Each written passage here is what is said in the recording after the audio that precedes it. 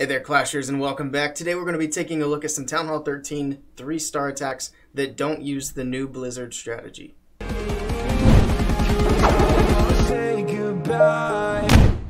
So in case you don't know what I'm talking about when I mentioned the Blizzard, that's the uh, new strategy people are using with Super Wizards in the Blimp, and then use the invisibility spells on the Blizzard when the Blimp drops.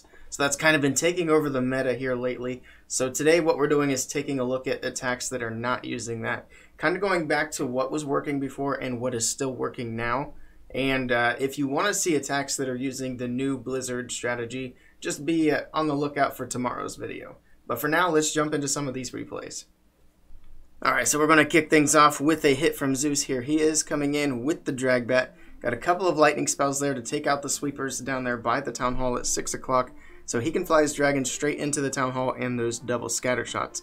He'll get those down nice and early. But before that, he does have the RC coming in. He sends in an Ice Golem with the RC to do some tanking here.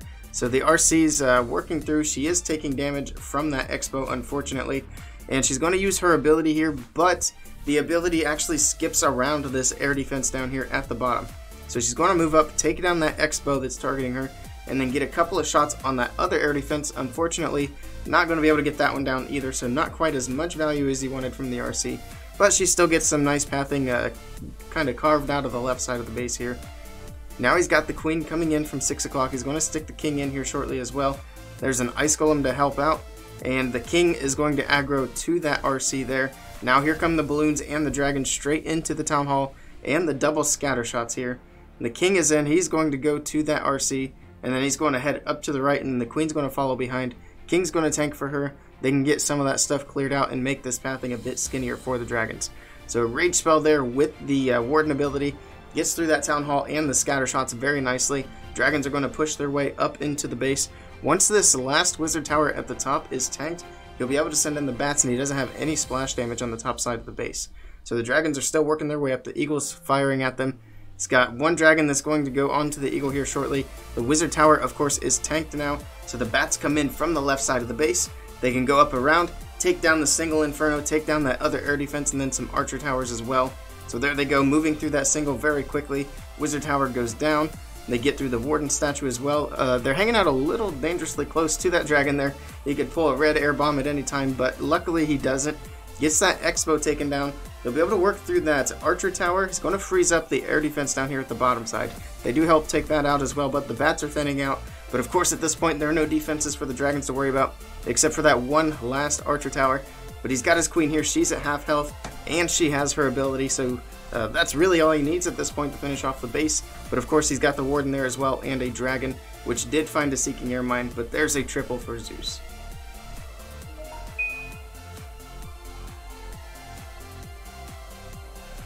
This time we've got Brad coming in, this time with a Yeti Smash. He's going to start that Warden over here at the 9 o'clock corner. He's going to work on getting that entire corner cleared out, and then that's going to allow him to put the King and Siege Barracks down at the bottom, and he will have very nice pathing here to send the Yeti Smash straight in to the core of the base. He can jump right behind that scatter shot, and that'll open up the middle of the base for the Yeti. So we are going to speed things up a little bit here. As the Warden works here with the Baby Dragon, gets those healers down, so he's got quite a bit taken out already. The Warden will work through the Wizard Tower, get through the air defense. Now you see that Siege Barracks coming in down at 6 o'clock. Going to get through those camps. That already sets up a very nice funnel. And then the P.E.K.K.A. and the Wizards are going to continue to get some of these buildings taken out of the way. King's going to do the same over there on the right. And then, of course, he's going to go in and fight the enemy king. That also helps to make sure the troops in the core don't get aggroed later on. We're going to slow things back down to 1x. He's got a whole bunch of things in the core right now. Everything went straight in. So he's got all those uh, Yetis, the bowlers. Warden ability there keeps them all alive. Rage spell. The uh, bowlers do a lot of damage under that, so he's going to get a lot of skip value here. And then you see that last jump spell coming in. He did have hogs come out of the siege barracks as well. The RC's working around with the hogs, getting those defenses around the outside taken care of. The Yetis and the bowlers still working through getting these defenses taken down. The scatter shot's going to go down. The only big defense left now is that single target Inferno. And it's going to stay up for a bit here, unfortunately, but he does still have a free spell. Still has a balloon in the bag, and he still has the queen ability. Just now uses the RC ability, so she's fairly healthy. She's going to work her way over here and start working on some of these defenses. He's going to use that free spell there. That's going to help him get a little more value out of the RC as she uh, does her last few throws here, takes out one last Tesla, then she goes down, but again, he still has that queen ability, and that alone is enough to finish off this base. Let's speed it back up just a little bit, and Brad, of course, is going to pick up another triple for WHF.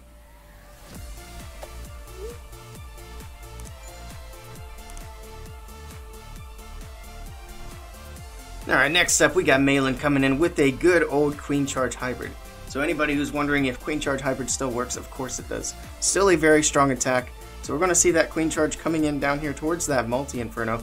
Got a Yeti in and some balloons with a Baby Dragon, getting all these trash buildings cleared out, setting that funnel up so the Queen actually heads into the base. Super Wall Breaker comes in. There's actually a gap in the wall right there, right in front of the Archer Tower.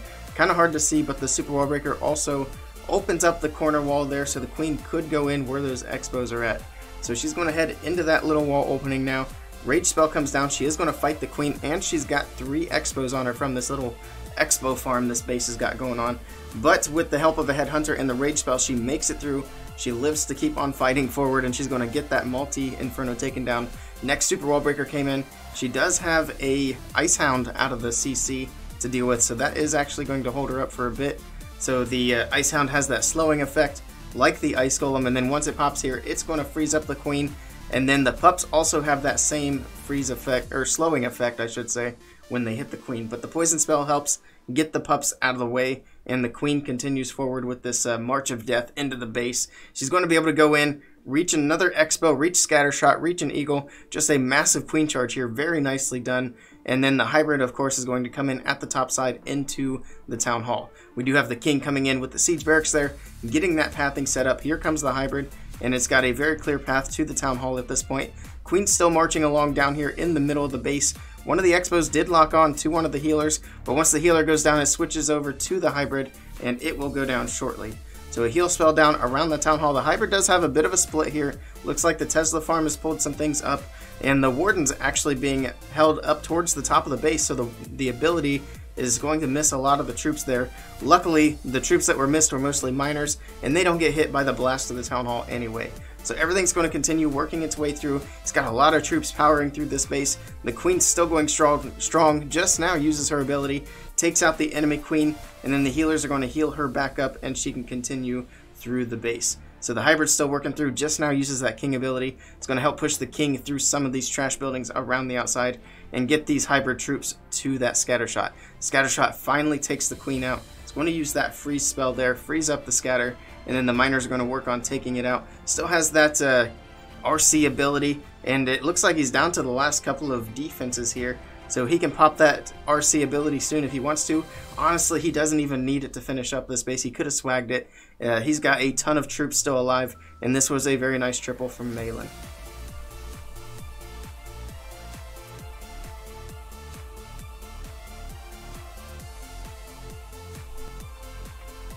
Next up, we've got Rupert coming in, this time with a P.E.K.K.A. Smash.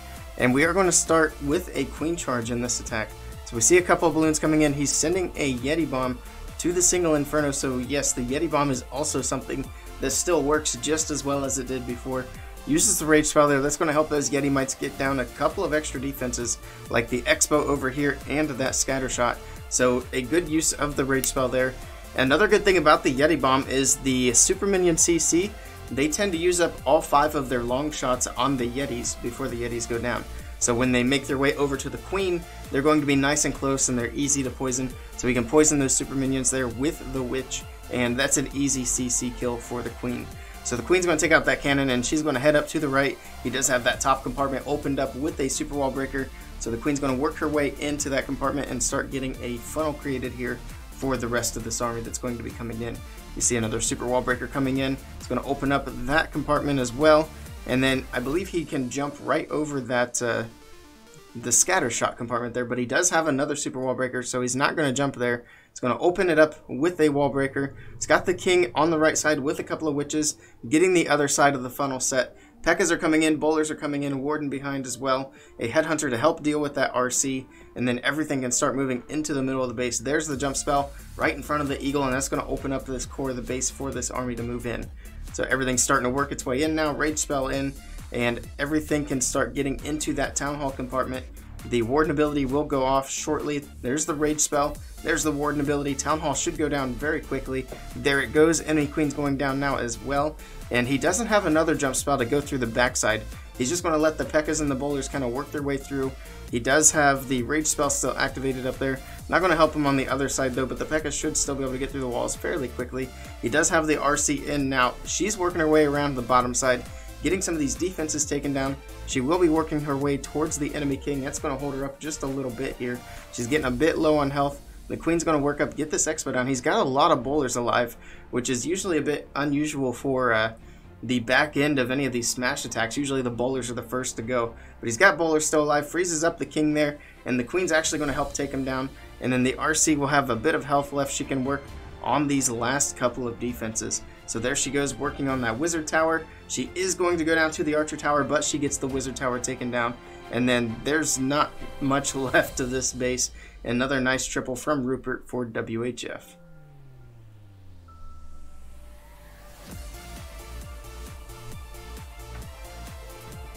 So this is going to be the last replay for this video. We do have an interesting army here. No Blizzard, but we do have the Super Wizards in the army camps. We're going to see them mixed up with the Witches here. And he's got four Golems and eight Earthquake spells. So of course we're going to see the double quad quake opening up two spots of the base. And then we're going to have a log roller coming in behind all of that as well. And we'll see where he opens up the base. He does hit the Town Hall on purpose here to uh, get it down to half health with that quad quake. And then the other quad quake coming up at the top side. So now he's got a clean open path to the town hall and he's going to use some of these super wizards on the edges to help shape up the funnel here to funnel the witches and the other super wizards in behind the log launcher and then of course they've got the queen and the king in there as well to help work into the core of this base. So the log launcher is shooting some logs in, gets the single down with the logs, and then of course getting the town hall with the logs as well. So he uses the warden ability there, the logs take down the town hall, and then everything else is starting to work its way through. He's got some stuff on the outside on both sides, and of course he's still got some things working into the core of the base as well. So everything's just kind of working together on each part of the base. He does have the RC on that multi-inferno up there, and then she will work her way down to the single target Inferno as well. He's got some free spells though, he can freeze that up, keep that RC alive, so there's one of those up there. The King in the Cores using his ability, working through some of these enemy heroes. He does go down, he's got some Super Wizards still in the core as well. You can see them kind of lighting up some of those buildings in there, getting those chains. He's got that Scatter Shot still alive, he's got a couple of Ice Golems, they came out of the Log Launcher, and they're going to freeze up that Scatter Shot, which is nice. He does have the Queen's ability, of course, and then there's two free spells still in the bag.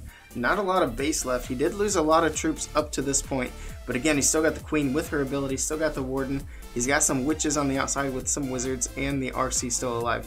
So he's got more than enough to get through the rest of this base, and he's not even going to need that free spell because the last defense just went down. So this was a nice triple here from Natural High.